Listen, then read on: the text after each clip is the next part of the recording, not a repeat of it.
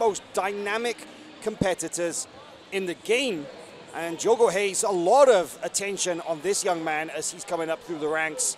So this is one of those clashes we didn't expect to see happen quite so early in the division, but it's going to be a treat. Oh, and look at that. As you just say that, Meyram gets a beautiful sweep. He locks the close guard around the knee and gets right on top. Interesting to note how, as well, the winner of this will go against Jordan Weissman and Kevin Carrasco. So this side of the bracket is just absolutely rife with dangerous competitors.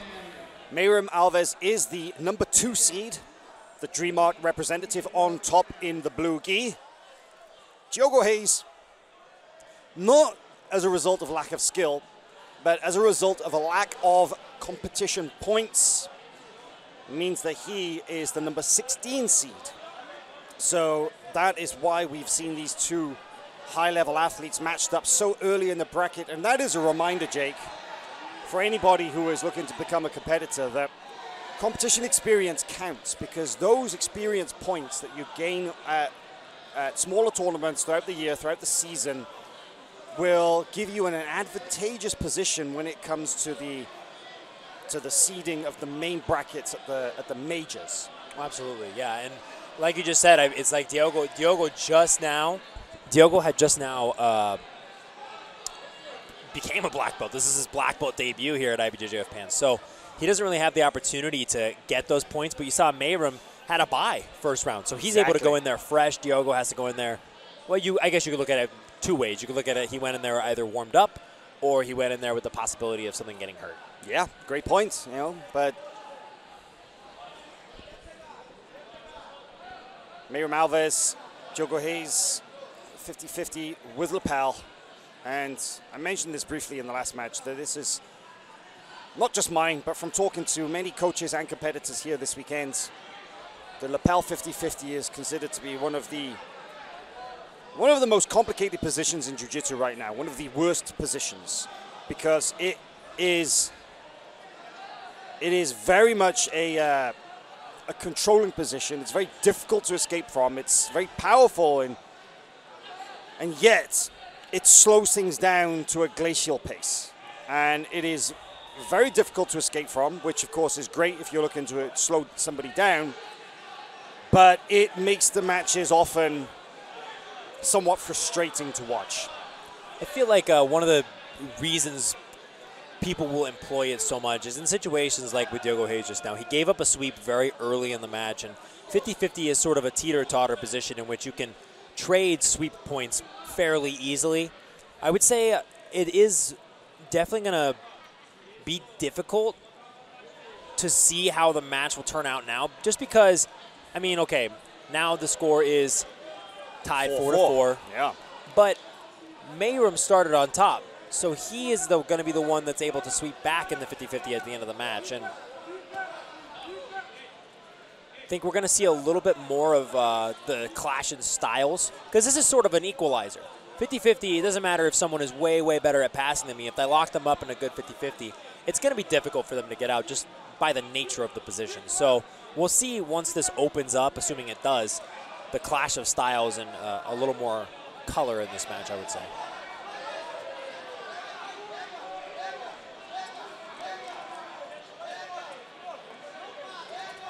And one of the things about 50-50, like you were saying, Hal, is when, when the lapel is employed on top of it, it becomes much more difficult to escape. You can't really throw feet submissions. Uh, a lot of people in 50-50 like to throw attacks such as knee bars. We've seen Herbert Santos do knee bars a whole bunch, and he sort of popularized that. A lot of people started going for that. And, and uh, also, uh, toe holds from 50-50 are very popular, but when you throw the lapel on top of it, it's just difficult to get those things going. But I think this is how it starts. This is how you get out of the 50-50 position is by throwing attacks in the back.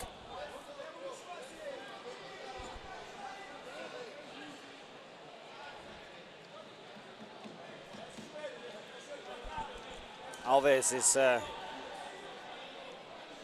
a black belt from Sao Paulo, Brazil. Not originally from Sao Paulo, based in Sao Paulo, Brazil. Trains with DreamArt. Also, uh, very strong connection to the Gigo Jiu-Jitsu team. Diogo Reis out of Manaus. Fight Sports Manaus, trains under the tutelage of Melqui Galvão and has done since he was about 10 years of age. Diogo Reis has been very active of late, competing in both gi and no gi. He won the ADCC trials in Brazil in uh, February, and this is the first time we've seen him put the gi on in the States as a black belt.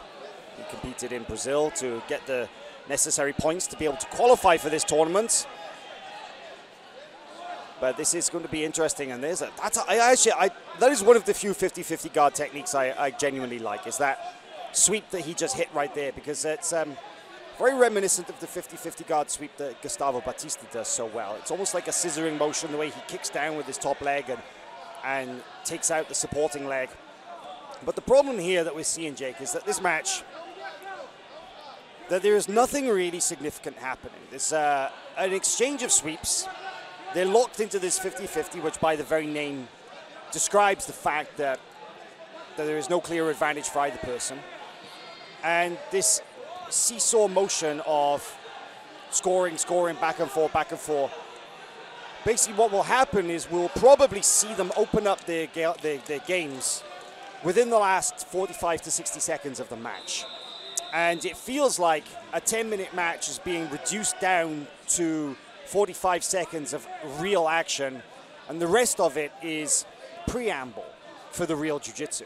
And in terms of winning tournaments, no doubt, very effective. In terms of uh, for a viewership experience and for the fans trying to watch this, it's uh, it's not so great.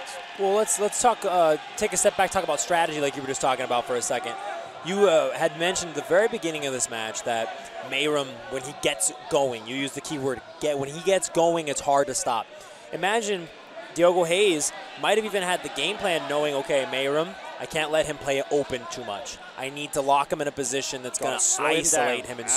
slow him down. So, from a gamesmanship standpoint, and from a competitive standpoint, genius work by Diogo Reis to put him in a position that by nature is going to give him, let's say it opens up in the next minute, he's going to have the energy to deal with Meyram. But dealing oh, with strategically speaking, it's uh, it's without question, it's it's it's the absolute correct game plan against somebody as dynamic and as uh, uh, somebody as explosive as as as Meyram. But it's uh, it's all about legacy, isn't it? As well as how do you want to be remembered? Do you want to be the the guy remembered for winning in spectacular fashion? or winning on the narrowest of margins. And well, I think that that is a is something that we see. It's a question of mentality among the athletes and this winning at all costs attitude that uh, that we've seen from some athletes is going to turn around. It's going to it's going to bite them in the ass a little bit as um, as the game progresses because especially with more professional opportunities becoming available for the athletes, they may not receive the same invitations and opportunities as uh, as their counterparts. And that's not to say, I mean, we, we like, like, we had mentioned, Diogo Reis uh, recently came off a very impressive performance at the ADCC uh, second Brazil trials, where he beat Diego Pato in the final and did some really incredible stuff there. So, so it's not that he's not capable.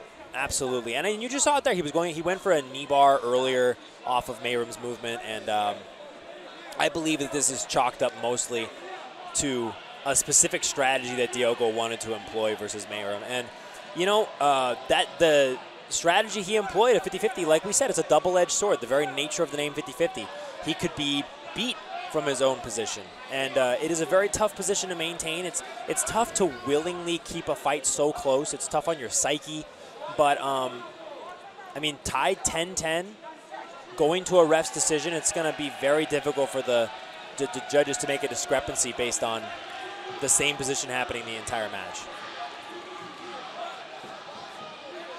And if I had to put my guess on it, I would say that it would be Meyram because at the very beginning of the match, he was the only one that secured a sweep from a non 50 50 position. He was the one at the very beginning of the match who swept from closed guard, and then they ended up in this teeter totter back and forth. So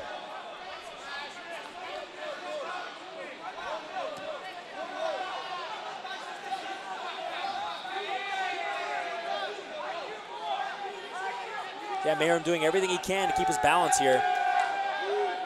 They're doing this a great job. Down to it. This could come down to if Diogo Reis is not able to score. This is not going to go to a decision. He's down two right now. If he can't get one more sweep back, Looks like Meyram Alves is going to be the winner here. Wow, six sweeps to five from the 50-50 over the space of 10 minutes. Not the crowd. Still, all things considered, not a bad.